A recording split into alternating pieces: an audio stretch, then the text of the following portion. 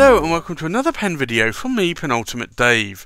So I have here another new pen and this is a pen that I picked up at the London International Pen Show in October 2019. So let's do an unboxing of this and a review of it. So let me lift the lid on this pen and you'll see here it's a very special pen and it has this uh, sort of Japanese lettering on the box. It's a balsa wood box, so it's quite light. So let me remove that and you'll see it here. Now, this was a pen that I wanted from January. I'd actually ordered it in January 2019. Uh, this typically is a pen that you do have to order. It does take around eight months to be created because um, they make them individually in Japan.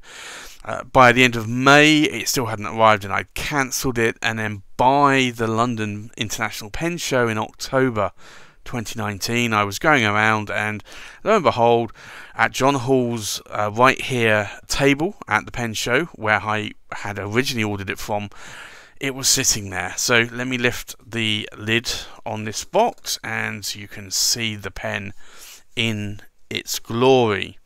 So if I just turn this around a little bit you'll see here, first off, you get a lovely kimono, which uh, will be very nice. Uh, so I will be using that a lot. You get a Sailor polishing cloth. You get a couple of Sailor cartridges as well. Um, I probably won't use those, but because uh, I'm not really a cartridge person. Uh, you get the Sailor writing instrument uh, booklet or instruction manual. And then you have this lovely pen. So let me zoom in a little bit more and you'll see it here. So this is a Sailor King of Pen. It's the Sakura Nagar, and I probably butchered that name. I don't speak Japanese, unfortunately, uh, and I'm sure it's a completely wrong pronunciation of the name, but Sakura Nagar is how I would probably say it, um, reading the name. Uh, it's basically, Sakura translates to uh, cherry blossom, and the idea is all of this maki-e, the, the Raden that is on this pen, is actually the cherry blossom petals and it's basically flowing down a river. And this is a beautiful pen. So the story behind this pen was that I have a Classic Pens LB5 and I do love it a lot. It's about half a centimeter to a centimeter longer than a um, Sailor King of Pen, uh, but it was made by Sailor for classic pens. And I actually have that pen here, and you can see that pen. So it is slightly longer and slightly more girthy, but this was uh, the Classic Pens LB5 was another pen that I wanted. I wanted it in a different colour, but these have come to become very expensive on the second-hand market. So I had decided that I'm not going to buy another one of those, but I wanted a Sailor King pen, and this one really did speak to me. Uh, I love the gold in it, and I you can see the gold flecks or leaves or whatever you want to call that that gold. It's it's really like a gold dust uh, to me, but it's quite uh, enriched there. And then you have this stunning Raden, uh, and this is the abalone shell in different colours there. And then you can see the cherry blossom petals just mingled in amongst that abalone shell raden. And a lot of those pieces are actually almost like a heart shape as well. So to me, it's actually quite a nice looking pen, and it's a pen that I really do like a lot. I love the way that this pen has been designed. So for me, this was a definite buy. Call it Kismet, call it Fate. At the end of the day, I had ordered this pen from John Hall Write Here in January. Uh, I'd cancelled the order the end of May, and I then subsequently changed jobs in July, and then coming back to the October pen show, just prior to that in August, I saw John post a photo on Facebook of this pen, but when I went to check on the website, it said it was a special order. So I thought, well, he hasn't got it. And then when I was walking around the London International Pen Show, there it was, and you can actually see the video where I first spotted it on camera, and at that point, I made the very snap, very impulsive decision that this was the pen that I had ordered, and this was the pen that was destined to come to me. I had cancelled the order. Nobody had purchased this pen yet. Uh, it's not a cheap pen, and uh, that's probably why. But it's a beautiful pen, and I decided that I just couldn't let this pen go. I couldn't let this pen go into somebody else's hands, and because I would then be regretting this and I would probably be ordering this and waiting another eight months if I was lucky, um, even to get it at all. So for me, this pen is a really stunning pen. So in terms of the size of pen in my hand, if I zoom out a little bit, you'll see here, it's actually a decent size. Now the nib, it's a 21 carat sailor nib and it's a king of pen nib and you can see that nib in its glory. It's a broad nib but that is a gorgeous nib. Now in terms of the size in my hand it's a very good size. Would I want to post this? You can post it and I'm posting it lightly here I really don't want to because I don't want to ruin this uh, finish uh, in terms of the filling mechanism it's a cartridge converter and it's the standard Sailor cartridge converter. Now I know some people have had issues with these Sailor converters uh, malfunctioning a lot. I haven't, I, I only have two Sailors. I have my Classic Pens LB5 and I have a Sailor 1911 Executive with a Naginata Togi nib and I've not had either of those converters fail on me. It's not saying that they won't fail, but I just have so far been lucky. Uh, maybe I'm not using the pens as much as I should do, uh, but for me, uh, I have not had any issues. Maybe I will with this one, I don't know. But you can buy the Sailor converters, so to me it's, and I think they're only £5, so it's not a major issue for me to be honest. But for me, I really love this pen. It's it's a beautiful pen. You can just see there as you turn and how that light affects all of those Raden petals. If I zoom in a little bit more, you'll see there. This really is a stunning, stunning Maki-E pen. So I just had to buy it. It was just not an option to not buy it. So this was a pen that I decided there and then within a split second, probably a thousandth of a second, that I would just go and buy it. And to be honest, I'd already bought a number of uh, slightly more expensive pens, so uh, I was starting to think, well, should I not buy this pen? But I just couldn't leave without it. And I could have probably asked John to reserve it for me, uh, and I'm sure John would have done, but to be honest, I just didn't want to miss out on this pen. So I'm really, really glad that I was able to get this pen and add it to my collection. So I think let's do a size and weight check and then we'll do a pen comparison and then we'll do a writing sample. So the length of the pen is about 150 millimeters in length the cap is about 73 millimeters in length, so it's quite a large pen. And then if I check from the tip of the nib, we're looking at about 130 millimeters in length.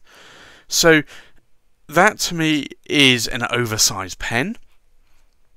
And I think let's go and do a weight check.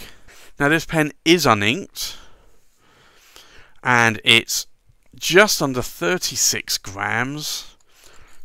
The cap itself is just just over 13 and a half grams or just under 14 grams and then the pen itself uninked we're looking at around about 22 grams so that is a fairly good weight, and it's a weight that I'm happy with in a pen, to be honest.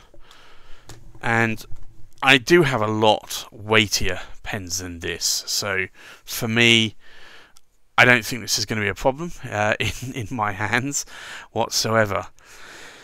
So here's a comparison with pens. So this is the Visconti Homo Sapiens London Fog, the Leonardo Officina Italiana Memento Zero, and this is the Hawaii version. This is the Leonardo Officina Italiana Memento Zero. This is the Mediterranea, which is the celluloid with a gold nib and a piston version. We have a Pelikan M800, and this is a Royal Gold Raden. We have a Sailor King of Pen, Sakura Nagara, or Nagar. We have a Conway Stewart Churchill in the Red Stardust. We have a Classic Pens LB5 in the Kawasaki. We have a Visconti Opera Master Crimson Tide. We have a Visconti Homo Sapiens Bronze Age Lava. And we have a Visconti Templar Jacques de Molay. Now, I'm just trying to think what ink I'm going to actually ink this up with because it's a gold ink. I've already inked up a pen recently with another uh, KWZ Honey ink. I've got. I could put a gold ink in, or I could just go for any ink. So I think what I will do, I want to look at KWZ Grapefruit because I've not tried that ink yet. So I think I might actually ink that up instead. And I guess that that ink doesn't match the colour of this pen, and that's normally what I do, but I think from, from that perspective, I think it will be okay because there's a lot of colours going on there in, in this pen. So I think let's go and grab the KWZ Grapefruit as this is one of my newer inks and I will unwrap the cling film uh, KWZ do this to, to, all of their bottles, and I kind of like it because bottles can spring leaks, and having this done up very, very tightly, I'm sure this takes a lot of time to individually shrink wrap every single bottle, but to me, I think it's worth it, especially when bottles can leak. So I think this grapefruit is actually going to be a really nice colour. I've never tried this before. Uh, so let's give this a try. Actually, I wonder if it smells of grapefruit. No, it definitely does not smell of grapefruit. It doesn't smell as as strong or potent as some of the KWZ inks, uh, so that to me is quite good. And right, get some kitchen towel ready, and we will try and ink this pen up.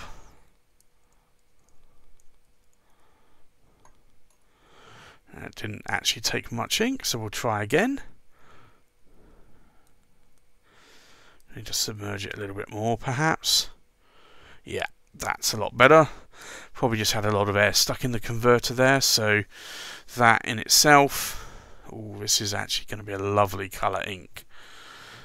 I think I'm going to fall in love with this ink. So it's an orangey grapefruity ink, uh, as you can see here from the cap of the ink. It's actually really quite nice.